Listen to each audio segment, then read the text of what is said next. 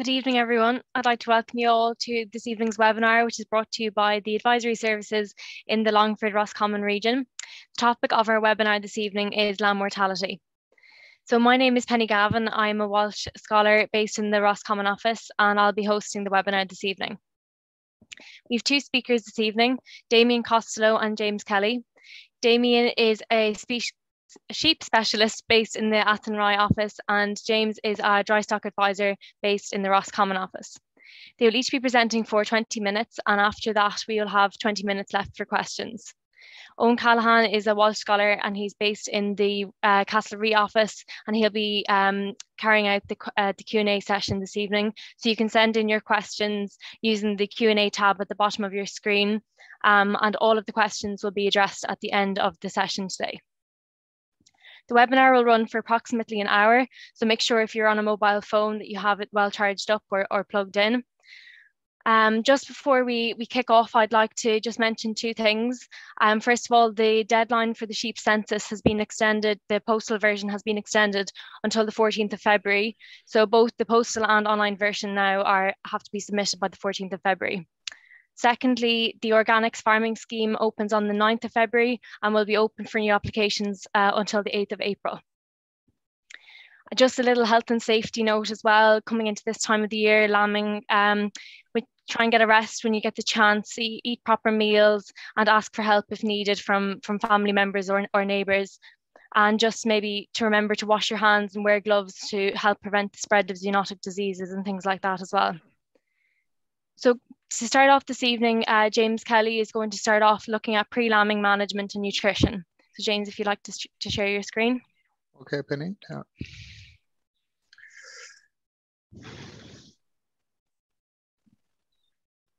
Can you see that there now, Penny? yet? Yes. Okay, folks, we'll kick off there. So I am, um, as Penny said there, I'm going to go through the period before the ewe lambs, basically pre-lambing management and pre-lambing nutrition. So just to give a bit of a background there to lamb mortality, it is the time of the year on a sheep farm that really has a huge bearing on profitability. It's the time of it's that three to four week period where the losses where you're going to lose most sheep on a farm, most heads, if you know what I mean. It's that period of three to four weeks really intense where you want to keep losses to an absolute minimum.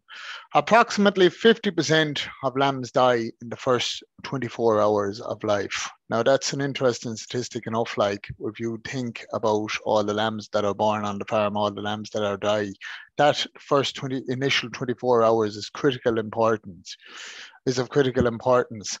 And what mortality are we looking at? A target mortality should be less 10, 12%. Now, a lot of farmers are achieving mortality, lamb mortality figures of less than 12%, but it's very closely linked to scanning rate. Like if you have a scanning rate of 2.1, 2.2 lambs per year, obviously you're going to have a lot more smaller, non-viable lambs. So your mortality is going to be a little bit higher.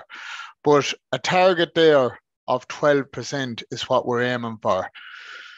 Some farms are doing better than that other farms that are scanning a little bit higher are a little bit more than 12%, but that is the figure that we put out there to be a target to get under. So as I said, the first 24 hours is critical, but to get the first 24 hours, to get the 24 hour, first 24 hours correct, we're going to look at two areas here tonight. Firstly, I'm going to do the pre-lambing management, pre-lambing management and the nutrition. And Damien then is going to look at the hygiene part of lambing. So what are the causes of lamb mortality? This is a study here done by Tim Keady and Alan Bohan in 2019 in Athenry. So we have all the various different causes on the pie chart there. Hygiene here, 23% of farmers do not clean and disinfect lambing pens. That's an interesting statistic. Colostrum, 9% of farmers only use artificial colostrum. And dystocia, 68% of farmers scan, but they do they know the lambing date? So a lot of farmers are scanning, but they're not raddling the sheep going to the ram. They don't have them grouped into, you know, when they raddle the ram, they don't when they let out the rams, they aren't raddling them per week. Say go yellow the first week, go green. They're not batch per week. So while they are scanning them, they still haven't condensed down the date to a particular week. So going back to it, preparing for lambing starts the day you let out the ram. Even if you're raddling the ram, rams going out the day you're when you let them out mating, if you're raddle the rams, you're helping cut down lamb mortality because it leaves you in a position that you're able to group the ewes better. Say yellow the first week, green the second week, onto red, onto black, the various different colors. So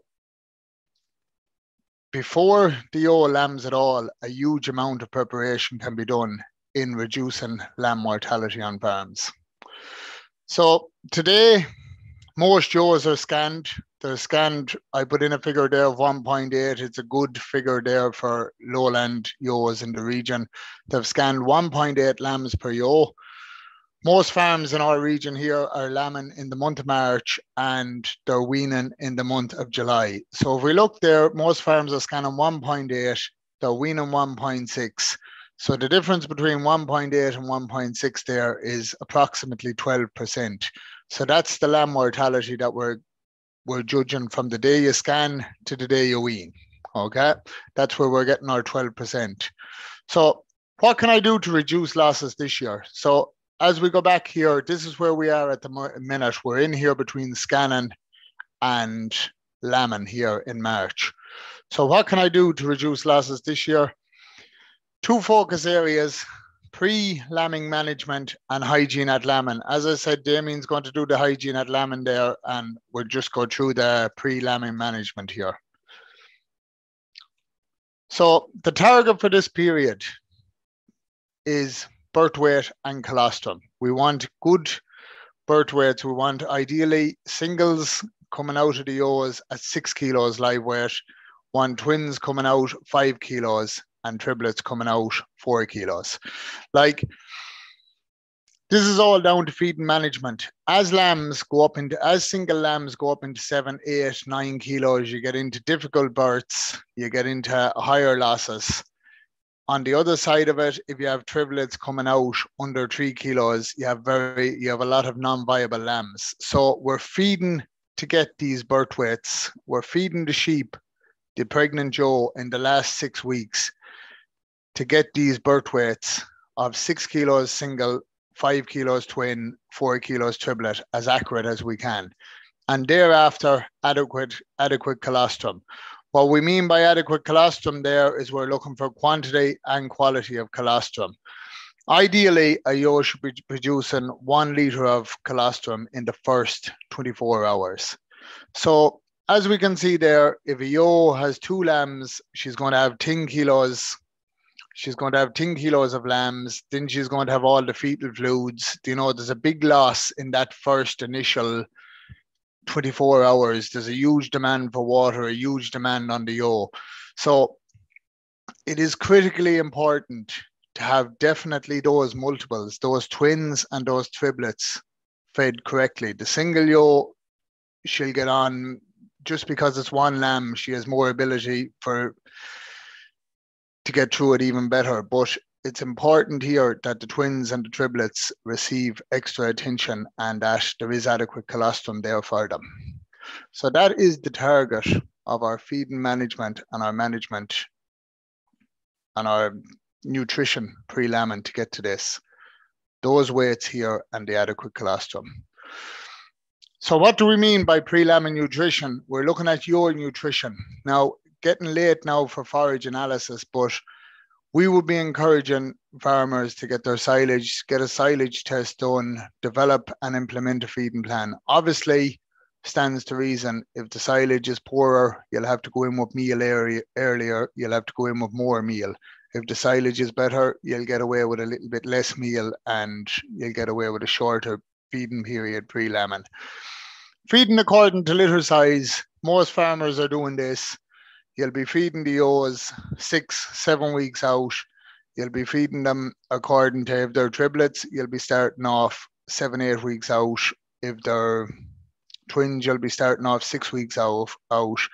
And it is important as well to feed the singles some meal. Like some farmers out there don't believe that singles might need they might need that much meal, but it is important, especially on high litter size flocks, to feed the single ewes meal for approximately three weeks pre-lambing because it will give them that boost in colostrum so that with high litter sizes you'll be able to cross foster some of the triplet lambs across onto the singles. But if the single ewe hasn't been receiving adequate nutrition she's not going to have enough milk she's not going to have enough colostrum to take on a lamb. So definitely on high litter size flocks it is important to feed singles so that they have that ability for cross fostering. Ensure that ensure a high quality ration is used in late pregnancy.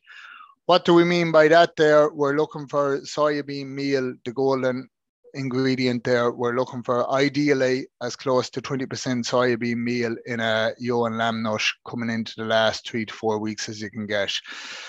The protein in soybean meal, it isn't broken down in the rumen and it goes straight through to the small intestine and it's absorbed by the O. It's absorbed through the O's, goes straight into the lamb. So if you're feeding a 20% soybean meal ration in the last two, three weeks and you're getting a ewe up on 0.8, 0.9 of a kilo a day, say a twin bearing your triplet bearing your, you're talking, she's taking in she's taken in 0.8, 0.9 of a kilo of meal. She's taken in a significant quantity of soybean meal. She's taken in, in around 200 grams of soybean meal. If that's split with her, with two lambs, you're talking the lamb is getting 100 grams of soybean meal. The vast majority of lamb growth in the O occurs in the last six weeks pre-lambing. There's a huge surge there. So 75% of the lamb grows in the last six weeks. So there's a huge demand there for protein, be it from the lamb growing, be it for maintenance for the ewe, and be it for colostrum production. So the high quality ration is important. Now, this is a year that farmers may look at ration prices. Ration prices have gone up, fertilizer prices have gone up, inputs have gone up, and there will be a temptation there to cut back a little bit on rations going in to a ewe in late pregnancy. It's not a race to make a cut. It's a ewe carrying two lambs, a ewe carrying three lambs. It's not what I'd recommend. It's not a seven I'd recommend because that is the period when the ewe is under most pressure just coming into lambing very high demand on the ewe. I don't believe it's a good cut even at current meal prices. Yeah, the ewe has to be fed. If she has the litter size, she has to be fed. Minimize your body condition loss in late pregnancy. If sheep are in a shed and they're sheared, it's very easy see body condition score because obviously the wool is off them. You can see them, you know, it's very visible. But yours that are outside with a fleece, nine months of a fleece of wool on them, it might be very hard. So it goes down to handling the sheep. If they're at a trough outside, just handling them the odd time, you know, just putting your hand on their backs, you'll know very quickly if there's body condition score loss. Now, if the ewes are being fed and they're being well looked after and condition is falling off them, you know, you have to look, is fluke a problem? Is there is there a fluke burden on the farm? Quite often now, this time of the year, if sheep are on farms that have a fluke problem, it can manifest itself now from say sheep picking up fluke in November, December. It can manifest itself now when the sheep gets under pressure, the immunity is down, fluke can take over. So it's important just to keep an eye on body condition score coming into late pregnancy. Then feed management here. This here is a lot of this here is common sense correct feeding space at draw, we'd be talking a ewe needs 600 mil, which is approximately two foot of trough space. Now, in a shed, she'll definitely need this. If you're feeding outdoors and there's a trough in a field and she can eat from both sides, this can be reduced a little. But a rule of thumb is two foot of feeding space in a shed constant access to roughage as meal is going up as meal is going up you'll obviously step it up you'll step it up gradually you'll start off six weeks out at 0.1 of a kilo gradually lifting it up to 0.6 0.7 pre-lambing, depending again on the condition of the ewe and the litter size. But you need constant access to roughage. Remove, refuse stale material twice weekly. You know, ideally you're not going to leave it there. The freshness of silage, the freshness of feeding a forage as well. If you are feeding the more sheep that are at it and the quicker it's going, the fresher it is. Concentrates, I'm after mentioning that, introduce in time and build up gradually, build them up slowly. Once you go over 0.5 of a kilo, you should be split feeding. You should really be split feeding once you go over 0.5 of a kilo per head to a sheep. So if you're going up, if you have triplet bearing yours and you're going up to 0.9 of a kilo, kilo a meal for triplet bearing yours, they should be fed morning and evening. They should be fed as close as you can to 12 hours apart. Now that's not awful, that's not always practical, but for triplet bearing sheep that are up on a very high level of meal, morning and evening feeding is a good idea to reduce digestive upsets because if you get these digestive upsets and a ewe goes off her feed for a day or two, you get twin lamb disease, you get all the other associated problems. Consistency on feeding time, I'm after alluding to it there on my previous point. Morning, morning, evening, try and feed them at the same time, whether it be after work in the evenings, whether it be before work in the mornings check clean out drinkers especially in a shed you know keep the water fresh much like the silage keep it keep it fresh keep the water fresh as you can. Separate shy feeders.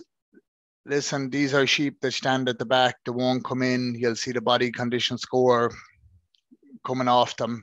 Do you know what i mean? It's important to try and get them out as well as that shy feeders lay lame feeders, lame feeders because they're sore on their feet, they mightn't come into a trough as aggressively as the one that isn't lame.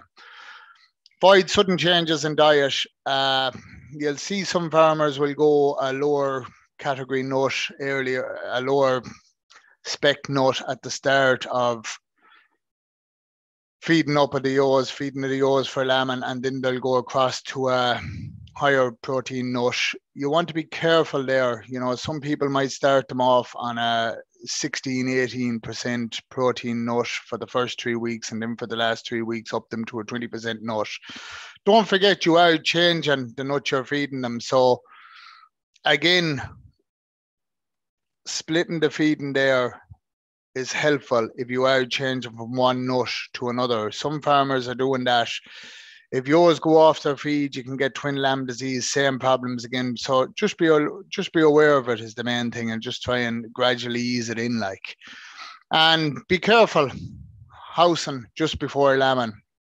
You know, yours can get knocks, various different things. You'll get abortion like that. So it's handling them with care. And the last point we're going to look at here this evening, well, I'm going to look at anyway, is clostridial vaccination. This is basically the 8 and 1 or the 10 and 1 vaccination that yours are going to get pre lambing. We recommend four weeks pre lambing, but you would be following the manufacturer's guidelines on this. Different products have different manufacturers' guidelines. So the main products there are Covexin 10, Heptavac, and Tribovax 10. They'd be the main products. Products. So this will be done as a rule of thumb, four, six weeks pre-lambing. You basically inject the, uh, vaccinate the O and it goes across the passive immunity will go across to the lamb. Care handling the O's. You know, you are injecting O's in late pregnancy and once you're putting into a needle into them, you know, they can jolt, they can get a jump. So you'll be very careful handling the O's, you know, keep them tight so that there's no room for really bursting away or no room to get no room for sharp turning or anything like that. And the whole point of it is the passive immunity onto the lamb, especially in the colostrum. You know, when the lamb gets the colostrum, the passive immunity is going from the yo for these clostridial diseases onto the lamb. That will last eight weeks in the lamb in terms of pneumonia vaccination, in terms of pneumonia, it will only last, last four weeks. So it is giving the lamb a certain level of protection by giving them by giving the ewe a clostridial vaccinations. Clostridial vaccinations, they aren't dear, they're about 60 as a guideline, they're about 60 cent a sheep, 60 euro, 60 cent cent a sheep, give or take, in around that. So they're not an expensive vaccine, but they can definitely help a lot in controlling clostridial outbreaks on farms where they are a problem. So the final point I want to make there is the nutrition pre-lambing, the vaccines, and the general handling of the ewes. If all them are done, you'll have a lot of the work done before the ewe lambs at all. So if the ewe is lambing down the lamb at a correct body weight, plenty of milk for the lamb or plenty of colostrum for the lamb, the ewe is strong, the ewe is fish. Do you know what I mean? The stronger the ewe and the healthier it is, the more likely she is going to have the lamb no problem. So that preparation, that six weeks preparation that most of us here on this call are in at the minute, it is key to get it right. So I'll pass over there to Damien now. Let's stop the share here. Thanks very much, James. That was a great presentation. Um, just to remind everyone, if they have any questions for James, they can pop it into the Q&A tab down at the bottom of the screen and he'll answer it at the end of the session. So Damien, if you want to share your screen, Damien's going to look at hygiene, colostrum, hypothermic lambs, and then op options for extra lambs that you might have this year. Okay, thanks, Penny. Um, can you see can you see that there now? Yes, we can. Yeah. That's great. Um, so as Penny said, uh, good evening, everybody. Um, Damien Costello is my name. Um, I'm a sheep specialist based in Athenry. And as James, I suppose, has outlined um, in his, his talk there, uh, the, the, the big importance of uh, you know getting getting prepared in advance um, in terms of nutrition, uh, having the having the the, the right uh, nutrition, having the ewes in the right condition, uh, lambs of optimum birth weight, and so on. So now I'm going to take up the story, I suppose, um, uh, from from the, the lambing time onwards and in and around the lambing time. And it's it's estimated that 25% of the labour in a sheep, associated with a sheep enterprise takes takes place around the lambing period. So a quarter of the year's work really is is around that time. And again, um, I suppose I'm not trying to put extra work on people or anything like that, but uh, it's it's just uh, what steps or what are the key steps you can take uh, to ensure that that, that you, you've, your your hard work or your, your lambs have the, the best chance of survival. And I suppose in terms of in terms of that, um, if we look at hygiene first, and when, when, you think of the lamb during pregnancy, Uh, inside in the ewe, it's it's a really sterile environment. Uh, so I suppose it's it's a big shock to the lamb system uh, when they emerge to the to the out the outside world, I suppose.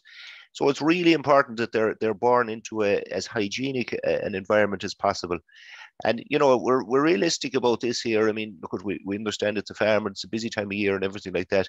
But whatever whatever you can do, I suppose, to, to provide uh, an environment for, for the newborn lamb and for the ewe, uh, so that they have a minimal chance of, of, of picking up infection, um, you know, you're you're really increasing their their their chances of survival. And by and large, any infection that the lamb picks up uh, comes through two routes really. Um, the, the, the, first and the obvious one is they'll take in some infection through their mouth, uh, and the second one is uh, via the navel. So I suppose whether you're outdoor or, or indoor lambing, um, a lot of people will use lambing pins. Uh, they, will use and newborn lambs will spend a day or two um, in individual pins to, to bond and so on. And again, really important that these are, are clean. So we're talking about um, using uh, the likes of lime or there's, there's other products available um, along with uh, plenty of straw plenty of straw bedding uh, in these pins and you're really you're trying to create a barrier um, if there are any bugs or, or that in the environment or on the on the, the, the floor of the shed or in, in the environment you're, you're trying to create a barrier uh, between them and, and and the and the newborn lamb.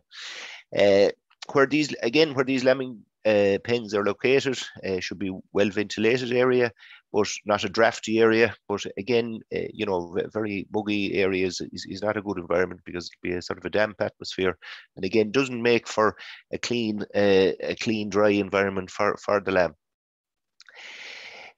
So uh, ideally, again, uh, in terms of, of uh, being prepared, uh, it's a good idea to have these lambing pins set up in advance of lambing. Um, you know, you don't want to be running here and there when the first Joe lamb is looking where are my gates and my pins.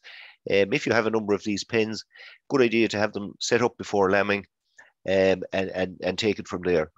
In an ideal world, uh, I suppose the recommendation would be that you, you locate these uh, in, a, in a way that they can be cleaned out after each use. Uh, so that if there's, there's no carryover infection between one lambing and another. And again, I, as I said at the start, I fully understand that it's a really busy time when the when the when the kicks off. But realistically, we're talking about uh, taking a few forkfuls of the, the used straw, um, taking them away, sweeping it out, uh, putting down your lime or whatever product you're using, uh, and rebedding the pen. Um, again, it's about minimizing the, the, the risk uh, of, of carryover of, of infection. Uh, the second part, I suppose, in, in terms of hygiene, um, is in, in terms of uh, your your your lambing equipment. And again, the, you can see down at the bottom there, there's lots of uh, different uh, items that you might be using at lambing time, such as lambing aids and lambing ropes, and um, uh, stomach tubes and so on. And again, a really simple uh, way of, I suppose, of having these sterile or disinfecting these is uh, what we know as, as the three bucket system. And uh, again, there's lots of people with uh, hot water sources and so on in their in their in their lambing sheds at this stage. but in the absence of that, a cheap and cheerful way of doing it, I suppose, is if you have three buckets. Um, the first bucket has um, water and a bit of washing up liquid. the, the second bucket then has just clean water, and the third bucket has uh, water plus uh, a sterilizing fluid, similar to what would be used, we'll say, with with uh, babies' bottles or that one time. Um, but uh, so uh, first of all, you you wash, we'll say, your stomach tube, your lambing ropes uh, in the the soapy water. then you rinse them out in the in the in the clean in the the clean water, so they're they're rinsed, and then they're submerged in the in the sterilize the, the sterilizing solution. So after 15 minutes, uh, they're, they're pretty much sterile and, and ready for use again. And the recommendation would be that you empty out these three buckets uh, once a day, uh, and that you you anytime you you need something, you need a stomach tube or, or that, you can go to your your sterile bucket, uh, take out what you need, and it's it's ready for use if you need to stomach a lamb or, or so on the other aspect, I suppose, we'd say in terms of, um, you know, the Penny mentioned, I think at the start, the use of gloves and, and the wearing of gloves. And again, um, it, it, it's it's it's, it's very important that um, you use a clean glove um, anytime you're assisting ewe um, at lambing time. Uh, the last thing you want is to be introducing, um, uh, you know, any infection into the or into the mouth of the, the, the, newborn lamb as he emerges. Other areas, I suppose, to, to bear in mind as well is in terms of um, our own clothes at lambing time and everything like that, that you're you're um, you know keeping keeping your your your outer clothes uh, fairly clean, that uh, lambs are not picking up any infection uh, from that as well. So again, uh, you know, as as creating as as hygienic an environment as you can for for the newborn lambs is the first part of the story, I suppose. The second part of the story, I suppose, is the initial feed. And, you know, we, we all uh, have heard before the, the importance of, of, of colostrum. Um, and in a lot of ways, um, it probably trumps everything really in terms of, of uh, getting getting um, giving the lamb that that that, that start he needs. Um, and the colostrum, I suppose, has three functions. Uh, first and foremost, it's a feed. It's a it's an energy source for the lamb. Uh, secondly, it will uh, clean out the digestive tract. So that's uh, black uh, gunky material that you, you see uh, the, the lamb passing in, in his early hours of life. Um, the, the meconium, it, it, clears that out of the digestive tract. And thirdly, I suppose, and probably most importantly, it's a source of immunoglobulins. And these are the antibodies uh, these are the antibodies that that uh, really help the lamb to, to fight off any infection and it's it's it's really important and james outlined it earlier on there uh, firstly i suppose feeding the ewe appropriately particularly in terms of protein so that she has produced enough of colostrum for her lambs um, and the, the second part of that story i suppose is getting it into the lamb uh, I don't want anybody going away this evening thinking that we're talking uh, just because of the, the, the the picture on the, the corner of the screen there that we want to stomach tube every lamb. If the lamb gets up and suckles uh, the the colostrum directly from the mother, happy days. That's that's what we that's what we want to see. There's guidelines there, I suppose, in terms of the amount of colostrum that a lamb will drink uh, or should should get in the first six hours of life. Uh, and it's basically 50 mil uh, per kg birth weight. So if you take the 5 kg uh, twin lamb that James mentioned earlier on, uh, they will need 250 mils uh, for a first feed. Um, again, we talked to a lot of people uh, about this over the years to say, oh, that's that's too much. Um, you can see the 60 mil syringe uh, that's been used in the in the photo there for stomach tubing. Uh, as I said, they hold 60 mils, so you'd be given four of those uh, of colostrum. If you needed to stomach tube the lamb, you'd be given four of those to, to, to the five kilogram lamb in a first feed it's really important. Some people will start to say, "Oh, we'll give them a, li- a little, bit, give them a little bit to start off." The, the big thing about it is the transfer uh, of, of immunity, or the, the, the transfer of these uh, immunoglobulins is highest um, in the early hours of the lamb's life, and it, it it declines after that. So that's why we talk about getting the the, the sufficient amount of colostrum in, in in the first feed. Uh, the other thing, I suppose, that's mentioned there about uh, supplementing uh, with colostrum substitutes. Um, if you take the example of uh, where uh, your lambs, three lambs, um, you, you think she doesn't have enough of uh, colostrum, um, the temptation is maybe to feed the first two lambs and then mix up some subst colostrum substitute for the, the third lamb. What, what we'd be recommending, I suppose, is that you would uh, milk out the yolk, uh, mix up your colostrum substitute and, and, make up the required amount uh, and divide it between the three lambs. So you're ensuring that every lamb has got uh, at least uh, some US colostrum. Um, there's, uh, I have a short video there just on um, the, the administration of a glucose injection. And what we're talking about here is where maybe a lamb that's a day older that gets hypothermic um, and uh, the, the, the probably the the, the, uh, the, temptation in a lot of cases is uh, either to warm this lamb or to uh, stomach tube him or feed him. You you find him in a more or less a, a comatose state. Uh, but because the temperature has dropped, um, he has used up his energy reserves uh, rather quickly. so the first thing or the first step in terms of, of trying to save this lamb um, is a glucose injection into the intraperitoneal cavity, and it's it's um, it's it's something if if if you if you don't do that first, um, the the the the outlook wouldn't be good for that lamb, and lots of people will start to say that you know is it is it is it a risky thing to do? Generally speaking, the the it's it's probably a a free shot really because the, if, if you don't do anything um, you're probably going to lose this lamb anyway. But um, it's really to replenish uh, the the glucose uh, in the in the lamb's bloodstream followed by warming him up and then followed by feeding him um, this is just a, a chart uh, that uh, I borrowed from AHDB in the UK.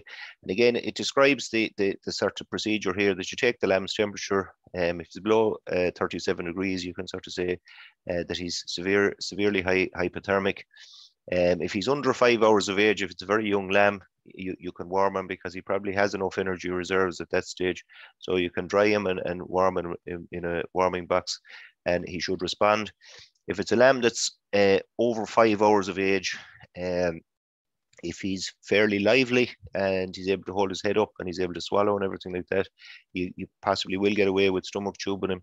If he's, as I said, if he's if he's panned out and unable to hold his head up, uh, this is where the, the glucose injection comes in.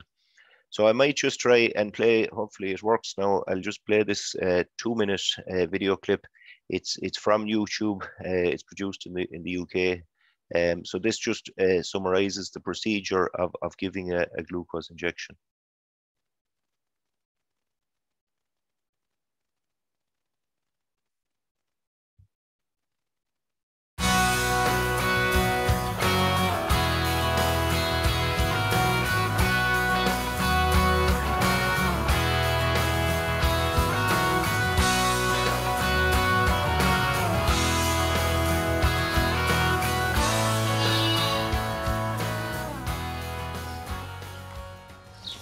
Hypothermia is a big killer of uh, little lambs um, where they, they get low blood glucose due to not having fed um, or extreme weather conditions. And uh, the, the thing to treat them is to bring them to a hot box to get them warmed up. Um, and before that, we'll give them a glucose injection into the abdomen to give the, the glucose a boost. They absorb that very quickly, um, and within half an hour, they're normally up and running. We'll show you how to administer that just now.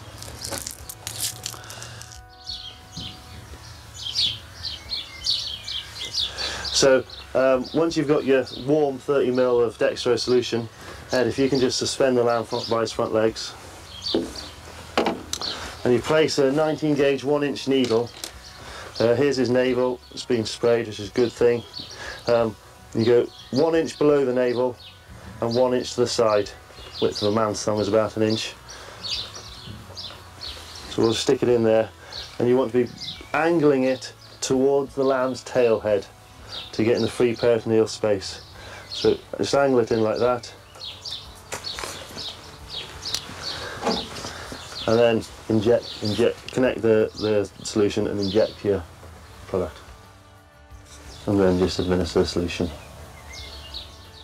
And the lamb can now be transferred to hot box and uh, in about half an hour to an hour's time it should be fed with some milk once it's warmed up to temperature once he's been in a hot box half an hour to an hour, um, if you feel his mouth, take his temperature, check he's warm. Uh, when he's warm and active, then you can uh, stomach tube him with milk um, to give a bit more, more energy.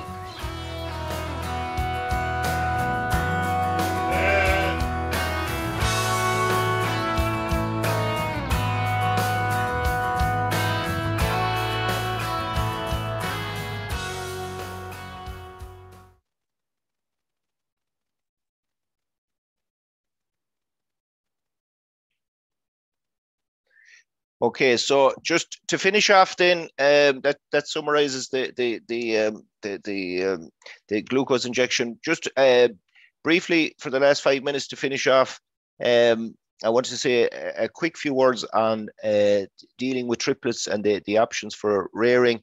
I'm not going to going to going to go into any great detail on uh, the the management and so on of it, uh, but by and large, um, as uh, we mentioned earlier on, if you have high scanning flocks, um, you know, if you have flocks scanning up around two or, or, or over it, uh, maybe 25% or more of your of your ewes will be carrying uh, three lambs or more. Uh, so what are the options? Uh, the first one again is to cross foster. Uh, there's, I suppose, variability in terms of the success of this at farm level. Some people have a lot of luck with it, and more not so much. the second option is to, to rear on the ewe. Um, again, it's not for every ewe, uh, but uh, if you're if you have uh, you, if you have ewes rearing triplet lambs, they need to be managed to completely as a separate group and supplemented accordingly. Um, a popular option, I suppose, is selling the surplus lambs um, because it saves a good bit of labour in that. Um, and it's, it's very much facilitated in recent years by online advertising and so on. Um, you know, the price, uh, there is talk of, of an increased price based on the, the price increase of lambs last year. But, you know, ideally, if you had some regular customer that will, will take will take all your surplus lambs, it probably works, but uh, it can be it can be a little bit hit and miss as well. And if you decide to artificially rear the surplus lambs, depending on the numbers you have, you're looking at a either bottling them or uh, some version of a multi-feeder uh, teat bucket. Uh, there's also fairly basic ad lib feeders, then they just have an element and uh, keep the milk warm uh, for the day. And then you can spend a few thousand with big numbers on uh, these automated lamb feeders that will um, pretty much uh, mix the mix the milk and everything. Um, it's pretty much it's it's plumbed with with water and, and so on, uh, but they would be again, as I say, for for uh, somebody would, that would be rearing big numbers. But I just want to have a look, I suppose, uh, at the at the economics of it, um, and in terms of the the increased cost of concentrates and and that this year. Um, just a few key points. First, it, it is possible to efficiently and profitably rear surplus lambs. As I say, there is a, a, a labour element to it, uh, but again, if you have the proper setup, um, if you're setting up a, a pen for them, um, you should allow about 0.6 meter squared pen space and have this set up in advance of lambing because uh, again, when things get busy, it's good to have these jobs done. Um, in terms of uh, budgeting, uh, in terms of milk replacer, it, it takes about 12 to 13 kilograms um, in the systems I'm going to describe here uh, of milk replacer per lamb uh, to rear them on a, an, an ad lib type feeder, we'll say. Um, and it's important, I suppose, if you're going this route that you you you look for the, the bigger bags, the 20 or 25 kg bags are, are far more are far cheaper uh, than buying it in small quantities. Again, the small 5 kg bags and so on are fine if you're feeding a small number of lambs, but um, if you're going to be feeding a number of them on this system, um, you need to to, to source the, the bigger bags. And again, in terms of performance, the, the key is uh, again appropriate pre-lambing nutrition so that you have uh, three viable lambs uh, at birth. Uh, and again, very important that each lamb uh, before they're taken off the yolk uh, gets sufficient colostrum in the first 24 hours. So you're removing the lamb at that stage in 24 to 48 hours. Um, and the other important point, I suppose, is that you group uh, the lambs by age. So maybe if you if you are doing a number of them, that you start off with the first week or 10 days maybe um, you, you have a group of similar age uh, so it facilitates weaning them abruptly at five weeks which is again the recommendation from a, a an economic point of view as well just to have a quick look at the at the costs, uh, I suppose, in terms of um, the, the first option I, I, look at here is where they're reared on a, an ad lib uh, milk replacer. Uh, they're introduced at a, few, at a few days old and trained into eating uh, lamb creep and then they're turned out to grass at eight to 10 weeks of age um, with a, a, reduced level of, of uh, creep, I suppose, and, and pretty much finished off grass. And in terms of a cost, I've assumed um, uh, that concentrate feed uh, is about 400 euros a ton. Um, the milk replacer, um, I've got a price for there in the last couple of days. Um, the milk replacer is costing about 335 per kilogram, and it's taken say 12 and a half kilograms of milk replacer per lamb. So that's a substantial cost of 41.90. Um, the creep feed uh, for 70 days, uh, they'd be averaging about 0.7. Again, this is very much an average figure, uh, probably much lower than this at the start, and uh, they, they eat a bit more than that when they get going at it properly. And then I just put a 10 cent per day cost uh, for a further seven weeks afterwards uh, to, to finish them. You know, that's again an average. It can run into maybe 10 weeks or more to, to, to finish them at that stage. But in any case, it doesn't make a huge difference difference to the cost. Um, it's costing, you know, not far off 70 euros, I suppose. I've, I've put in two euros for miscellaneous costs there. Costing not far off 70 euros per lamb to, to, to rear them on this option. Um, the second option then, and uh, some people uh, go for this one, but it, it's it's it's it's a good bit more expensive, um, in that the, the lambs are, are intensively reared indoors. So again, they're on the ad lib ad lib milk. Uh, they're on creep from the, the start, and they're they're they're pretty much finished indoors. They're they're left on creep and uh, you know slaughtered from the from the shed. So the cost of the milk replacer is the same uh, a little bit longer, a little bit more meal input involved in this. Uh, it's it's coming up into 48 euro, and I've I've, I've doubled the, the, miscellaneous costs in that one. So again, assuming 400 euro a ton for the meal, so it's in around 94 euros. Um, using uh, using that option to to rear them and, and intensively finish them. Um, and the last one then, I suppose, is if they're left on the O, there's an additional cost in terms of uh, supplementing the O for uh, five weeks with a half a kilogram of meal.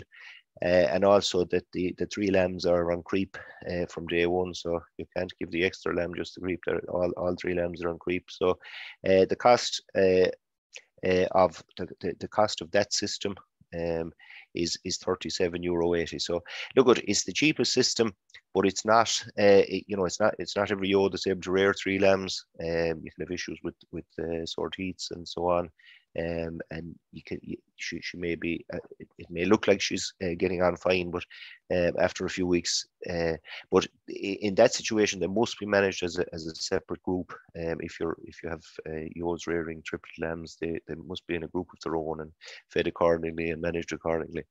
Um, so I think it's it's just uh, in, interesting to compare the, the, the the three systems there. So Um, the the the indoor intensive finishing is the is the most expensive, but uh, maybe you'll get get your lambs out quicker.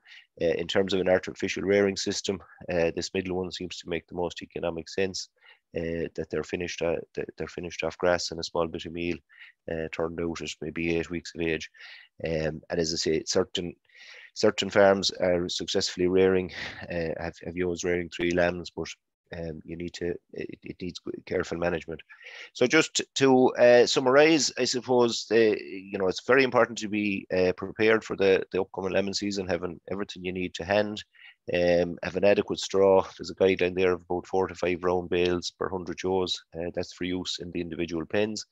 Um, I suppose a, a, lot of people who say in terms of lambing pins, you, you, you can't have enough of them when the, the lambing is at its peak. But guideline there is, is one per every eight to 10 ewes in the flock. But if you're very compact lambing, um, you, you may need more than that. Um, use plenty of lime and plenty of straw. Um, you know, set up your your uh, disinfectant system, your your three bucket system to to uh, to disinfect your your utensils and your your um, your gear. Um, and again, a really key important one is having a plan in place so that each lamb uh, gets gets adequate colostrum. As I say, we're not talking about stomach tube in every lamb or anything like it, but just uh, first and foremost feeding the oil so that she has enough of colostrum to to to to, uh, to cater for her lambs, and then making sure that that that, that gets into the lambs. And again, in uh, particularly in high uh, scanning flocks, it is important that you have a, a plan uh, to deal with the surplus lambs. So I leave it at that, Penny. And if there's uh, if there's any questions, uh, we'll, we'll take. Thanks. Great. Thanks very much, Damien. That was another excellent presentation. Um, I suppose now I'll hand over to Eoghan for the Q&A session. I see there's a good few questions coming in there. Yep. so loads of activity in the questions box, which is great to see. Um, the first question here, you might throw to James. um, have you any advice on purchasing yours in lamb? Purchasing yours in lamb, you'd really want to know the background of the sheep. Ideally, if you are going to purchase yours in lamb, you'd want to know uh, are, are they coming from a disease-free flock? What's the scanning rate of them? What's the age of them? Like if they're old Joes, if they're old Joes, body condition is down, high litter size, you might be buying in a lot of bother. Like it all depends on the physical appearance of the sheep themselves and thereafter the history of the sheep. Are they vaccinated? You know what I mean? It's an open-ended question, but there's a lot of various factors, but you'd have to take into account the physical appearance of the sheep themselves, lambs, and thereafter find out as much history about the ewes as you could. But all things being equal and coming from a disease-free flock, no problem. Just handle them with care coming into lambing. Obviously, if you're going transporting sheep in late pregnancy, you'd have to be handling them with care, like. Yep. You perfect. wouldn't be you wouldn't be transporting them. You'd be trying to do this. You wouldn't like to be doing this in the last month, anyhow. Put it that way. You'd be trying to do it six, seven weeks out from lambing at least. Um, Damien might throw the next one to you. Um, how does straw compare with timber shavings as bedding? Uh, again, there there isn't any. Uh, I suppose there isn't really any scientific work. Um, it's hard to be straw really for the individual lambing pins. I suppose the the shavings uh, may have their place um, in terms of the the uh, the we'll say use in in the uh, as, as along with straw maybe, but um, straw would be my preference. I, I don't have any, uh, I suppose, scientific comparison, uh, but uh, straw I think is the is from from the point of view, particularly the point of view of individual pins, it's the it's the it's it's the best in terms of of soakage and that. But as I say, I don't have I don't have scientific evidence to back that up, but uh, that would be just my opinion on it. Yep, that's great. Um, James, just I'll throw this on to you. How important are minerals pre-lambing? Minerals. Uh, there should be minerals in the meal. Most nuts would have minerals in them. Some farmers, if there is mineral, mineral deficiencies on farm, they do supplement with minerals coming into the last period, coming into the latter stages of lambing, or, or coming into the latter stages of pregnancy. You can go in with lick buckets. Some farmers go in with a drench. You can put uh, powdered you can put a powdered mineral on top of the meal. It wouldn't be that palatable, so you'd have to go very easy with it. I suppose ideally, if you were getting really into this, you'd blood a couple of sheep just to see what the mineral status of the yos is, if there was a problem with yos lambing or anything like that. But if farmers thought the yos needed something, they could give them a drench. They could just uh, dust the meal with small bit of minerals or put out lick buckets wood minerals. Yeah, that's perfect, James. Thanks. Um, Damien, I'll give this one to you. Um, is there a reason that lambs are born at night, and is there a way of preventing it? Uh, I suppose no uh, is the answer. There isn't any way of preventing it. Um, you know, th- there is some anecdotal evidence, I suppose, that uh, I've, I've, I've spoken to uh, farmers in the past, and there has been uh, some work done on this in the, in the the in the cattle world, I suppose, more so uh, in terms of feeding times uh, and so on. But um, there, the the only I suppose comment I'd make on it really is that I've, I've, I've heard from uh, some farmers where um, maybe if if the lights are, are turned off at night at 12 o'clock or 1 o'clock if there's if there's nothing happening and if you're there in the morning at first light, that uh, that there doesn't appear to be as, as much activity. Uh, but there there isn't really any sort of hard and fast kind of rule to, to, to stopping them from lambing at night. But it would appear that if if if lights are off or, or minimal lighting and, and minimal disturbance during the night, if they settle down for the night and they haven't started, that they they may hold on until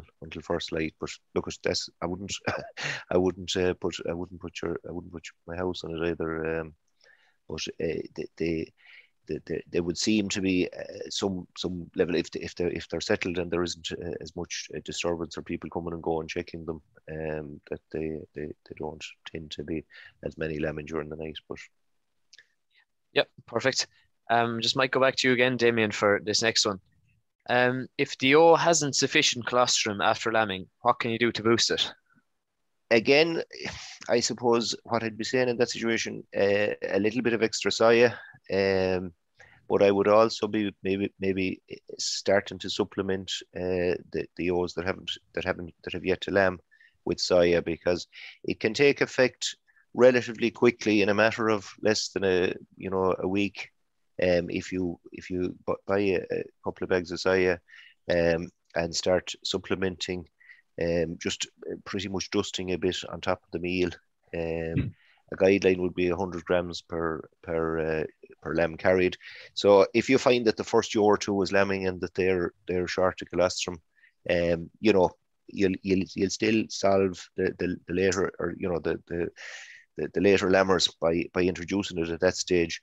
Uh, generally speaking, I mean, if if uh, that that particular yo with with uh, feeding after lambing, you know, she she can come into milk, and you know, if it's if it's if uh, weather conditions and so on are right, um, she she will come into milk when she's when she's turned out to grass, maybe with a bit of supplementation. But you know, there's lots of reasons why individual yos mightn't mightn't be just good milkers anyways. But um, if you find in the first few have are, are, seem to be short of milk, it might be uh, important to address the, the feeding situation straight away. So you could be feeding a ration that's that's relatively low in soybean meal. So supplementing from there on uh, for the, the ones that have yet to lamb will solve the problem within a, a week or so anyways. So it, will it'll be a help going forward for the, for the rest of the lambing. Yeah, and just James, I might throw this one to you. Just Damien touched on the soybean there, but what I suppose, is a substitute for soybean if it's a case where it's not available? Distillers, distillers will be an option to put in. Uh, good quality grass. If you could give them grass pre, like if you could give them grass pre-lambing as well, it will boost the colostrum. We haven't talked a lot about that at all. We're all on about what we put into the meal. But if yours could get grass for two weeks pre-lambing, it's amazing the way they can it can boost the colostrum in the in them as well. Like so, you'd be looking at distillers and would be a practical option, and a bit of grass pre-lambing would boost the colostrum on the yos. Okay, and just maybe saying to you, James, here for, for one minute. Um, just post lambing, then how long should you continue to feed meal to the lamb? Feed meal to the ewes. Yeah, feed meal to the ewes. It depends on the system. It depends on the supply of grass that's out there. Like if you're very tight on grass, and you know if there isn't much days ahead in terms of grass for lactating ewes, you will have to keep supplementing with meal like. As well as that, a lot of farmers find it's not often, some farmers will put ewes straight out to grass and cut out meal straight away, but it's a very quick, sudden, abrupt change to the diet. A lot of farmers tend to continue on for a week, two weeks, depending on depending on the quantity and quality of grass that's there and depending on weather. But most farmers will go for that week, 10 days, two weeks to get the to get the lambs initially started and move on then. But again, this year is going to be a different year with the price of ration. It all will depend on weather, grass growth, etc., how much fertilizer is spread as well. But that abrupt change, that abrupt change is not good for you going from if you have a ewe eating 0.8 0.9 of a kilo a meal pre-lambing. Next thing she lambs, goes out into a field of grass, and next thing she's getting no meal. That's not ideal either. So you'll gradually reduce her down, and you'll be talking week, two weeks. Yeah, perfect. And just going back to Damien, um, what is the best navel spraying slash dipping product to use? Um, yeah, I, again, I suppose there's there's, there's, there's always the argument: is it better to to, to, to spray them or dip them? Uh, personally, I have a preference for for dipping them in that you're getting full coverage of the the navel. Uh, the likes of um, I've seen people using the, these little plastic, um, they're like shot glasses, I suppose, um, that you, you can put your uh, product into and just uh, you can fully gather up the navel uh, inside it and hold it up to the the, the, the lamb, and uh, you know you you're getting full coverage. I've seen people spraying as well, and they, they they're from once it's done properly and done carefully, it's it's equally. Um, most cases you're talking uh, of um, a ten percent iodine solution, um, or there's there's also products that are based on on chlorhexidine there are products that have are, are a combination of both. Um, I don't think it, look I don't think it matters too much what what what, what, what which product you use uh, from once it's done as soon as possible after birth, uh, and it's a good practice as well to repeat it within a few hours um, after birth because it's it's it's drying up the navel and it's it's it's sealing off that that potential source of of uh, them taking in infection. Perfect. And just we'll go back to James again with this next one. Um, what size should individual pens be? Ideally five foot by six foot, you'll be talking 30 square foot. Most farmers are using sheep hurls and you know they come in various different sizes to come the standard sizes are really five foot and six foot while you could go five foot by five foot the pin is relatively small especially if you has three lambs and you're talking 25 square foot the likelihood of her lying on a lamb in a pin that small is increased, stands to reason.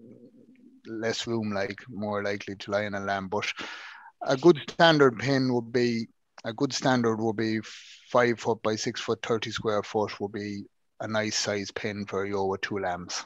It would leave space for a bucket. Do you know you have to have there's a ewe in it, there's a 70, 80 kilo ewe in it, there's two lambs in it, there might be a bucket for meal and there might be a bucket on the gate for water. So 30 square foot. Okay, perfect.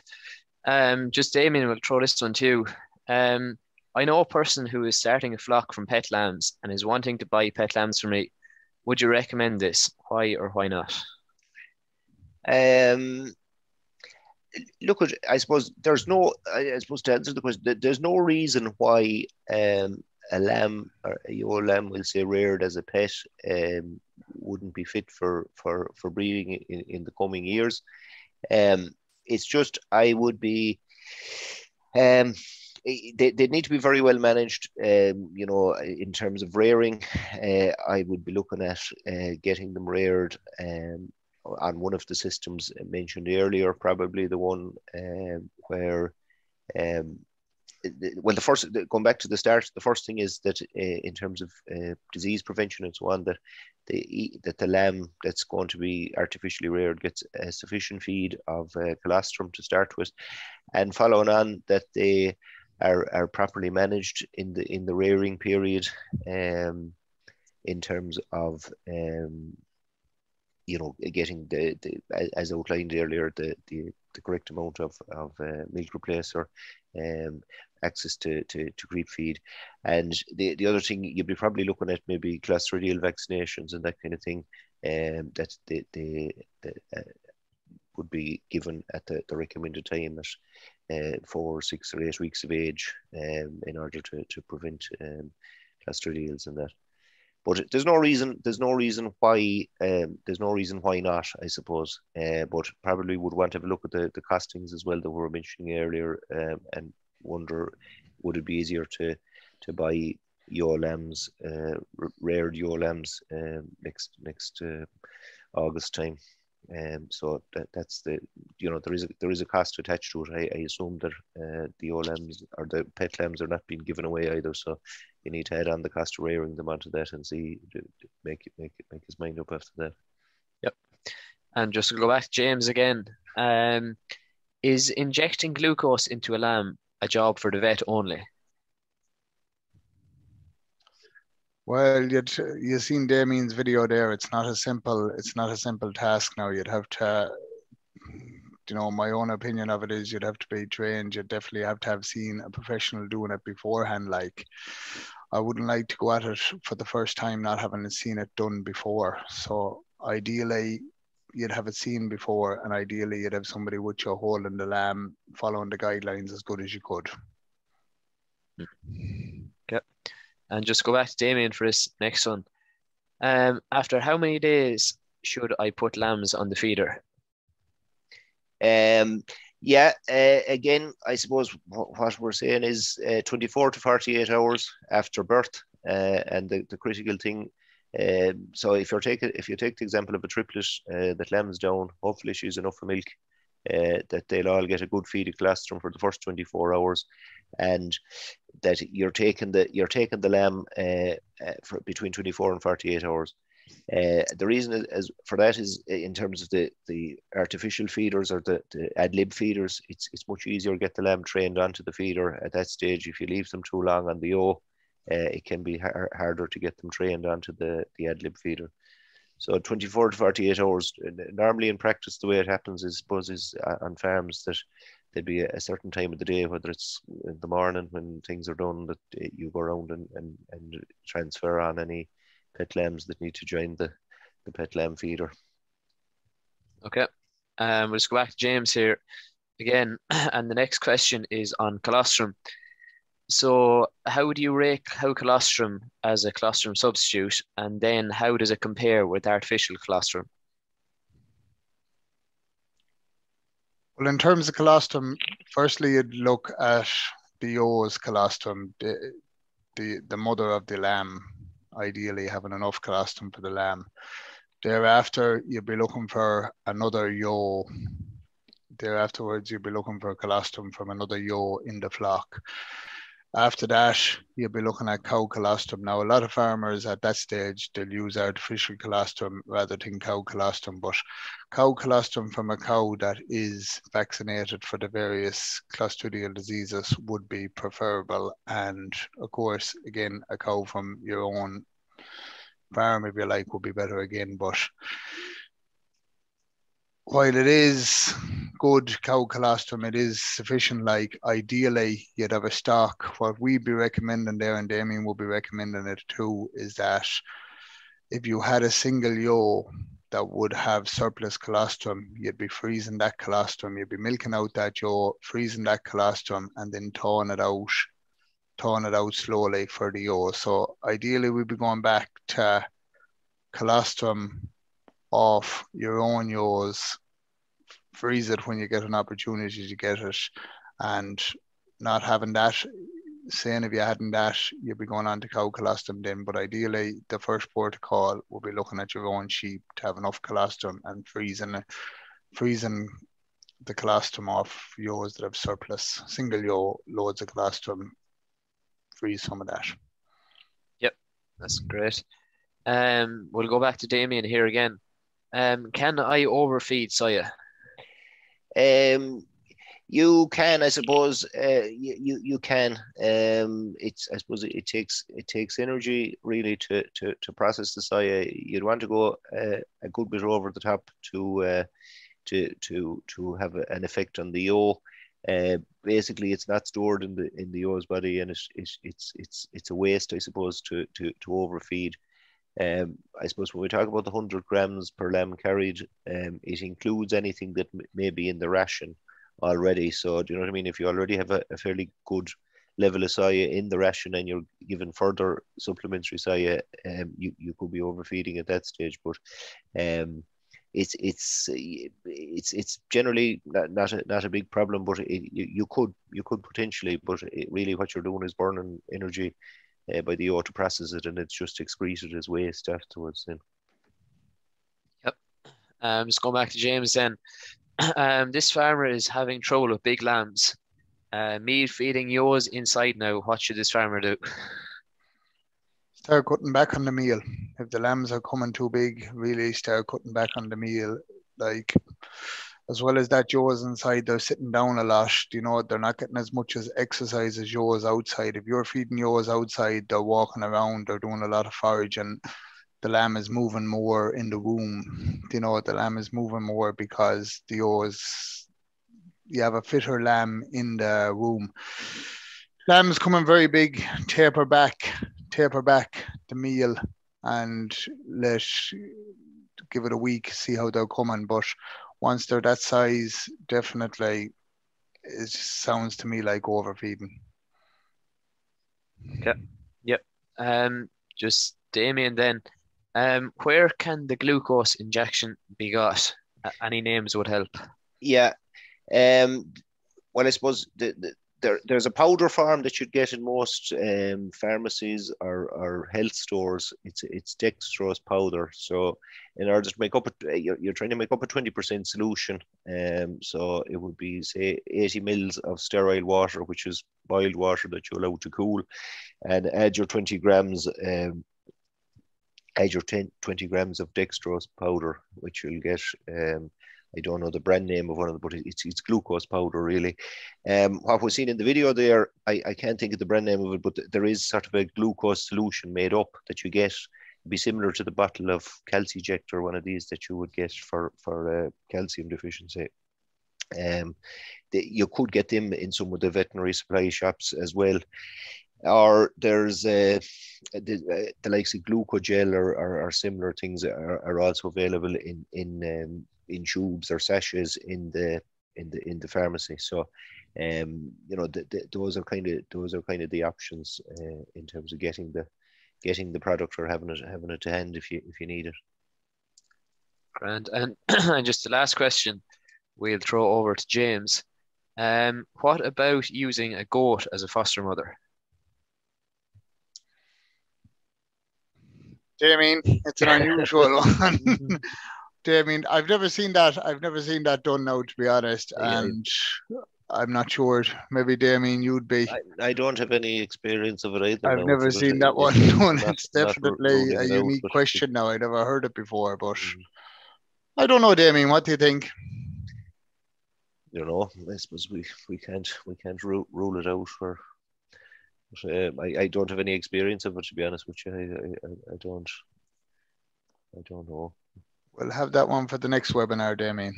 I think we'll have to we'll have to do a bit of research on that. that. Yeah, yeah. There probably isn't any reason why they wouldn't rear them. I would, as I come back to James's colostrum story, I suppose if they, if, if ideally, if they could get some your colostrum into them, they, I, I, I've no doubt, uh, uh, um, there'd, there'd be, um, there'd be enough of energy and so on, and, and in the, um, in the, in the goat's milk to, to rear them. But uh, it's it's uh, I, I, I, don't know after that how the, the, practicalities of, of getting the, the lamb onto them and so on. But, yeah, it should work. It should work um, when you think about it, but yeah. Yeah, sure. Might go back over to Penny. So, Brilliant. Thanks very much, Eoghan, for the Q&A session. And I'd just like to thank James and Damien again for fantastic presentations this evening. Um, I think everyone really got a lot out of them. Um, I suppose I'd just like to mention that this webinar has been recorded this evening and will be available on our YouTube channel. Um, the links will be shared, the link to the video will be shared on our Twitter and Facebook page in, in the next week or so, I think. Um, I just like to also mention the upcoming webinars for our region. So on the 21st of February, we're having a fertilizer and lime webinar. And then on the 7th of March, we'll be having an organics webinar. So I'd like to thank everyone for their attendance this evening and hope everyone has a, a, a great night and hopefully no one's kept up too long with any lambs. thanks very much. Okay, thanks. Yeah. Thanks very Bye, much. Everyone. Thanks, thanks.